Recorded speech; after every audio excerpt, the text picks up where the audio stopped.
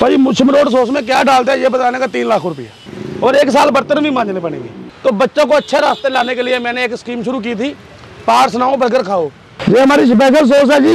ये डेनमार्क की गायों का दूध मंगा के उससे स्पेशल तैयार कराई जाती है जी। ये जगह डक्कू बर्गर है जी। ये पंजाब पुलिस बर्गर है जी। वो पाँच रुपये से बर्गर स्टार्ट हुआ। आज मेरे पास एक हज़ार रुपये तक बर्गर है। वो मैं पाँच हज़ार का बर्गर शुरू करूँगा जी। भाजी मेरे को ये काम करते को सोलह साल हो गए। जब मैं सोलह साल का था मेरे पापा जी बुरे हो गए थे तो तब से कि मैं ये काम कर रहा हूँ मेरी उम्र बत्तीस साल हो गई अब। आधी ज़िंदगी मेरी ये काम में होगी। तो यही काम क्यों चुना भाई जैसे आपको पता ही है अभी हमारे जब मेरे पापा पूरे हो गए थे तो हमारे देश में आपको पता ही है अभी सरकार जब बच्चा अनाथ हो जाए तो सरकार जिम्मेवारी लेती नहीं है तो बच्चों को काम ही करना पड़ता है। तो मुझे भी पढ़ाई छोड़ के मजबूरी में काम करना पड़ा। लेकिन भाजी मैंने मजबूरी में काम किया शौक बना लिया मैंने किसी को महसूस नहीं होने दिया कि हम लाचार है या किस है तो मैंने बड़े शौक से इस काम को अपनाया और आज परमात्मा की दया से मैं पूरा दुनिया में फ़ेमस हूँ इसी काम की वजह से। ये भाजी? ला लगे एक फोर्टी सेवन बर्गर झेठे जाते ही धक् पा देगा। जिदा एक फोर्टी सेवन धक् पाती है ना सा बर्गर भी धक् पाएगा। ए भाजी हमारा जी जो एक फोर्टी सेवन का असला तैयार हो रहा है जी।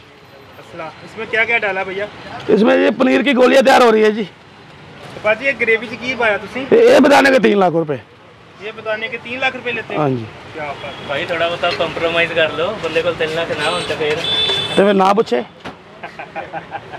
आपका बाबा बर्गर वाला कैसे ना पड़ा है भाजी जैसे मैं यहाँ पे खड़ता हूँ ना तो आप देखते हो पंजाब में नशा बहुत फैल रहा है ना माँ बाप बच्चों को अच्छी शिक्षा कम ही देते हैं आजकल देखते हैं जब बच्चे सारा दिन वीडियो गेम में लगे रहते हैं। कभी कोई पबजी खेल रहा है, कोई कुछ कर रहा है।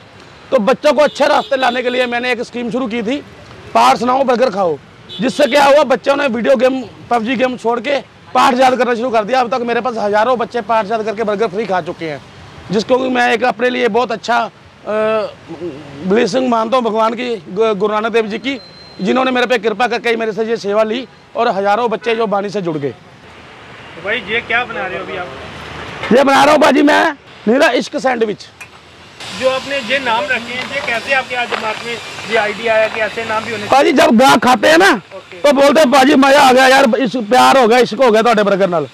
मगर लोगों के मेनू में आप देखोगे ना लिखा रहता है सिंपल बर्गर लेकिन मेरे मेन्यू में सिंपल बर्गर के नाम से सिंपल सैंडविच के नाम से कोई भी चीज़ नहीं है। मेरे में स्टार्टिंग ही नीरा इश्क से होती है।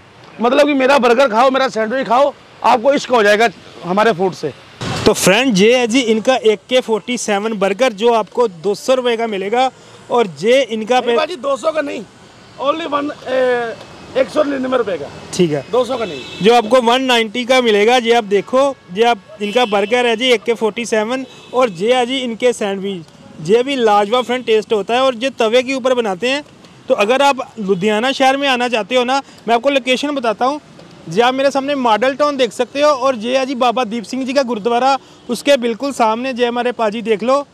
इनका नाम है जी बाबा जी बर्गर वाले लुधियाना शहर में, बहुत फ़ेमस है।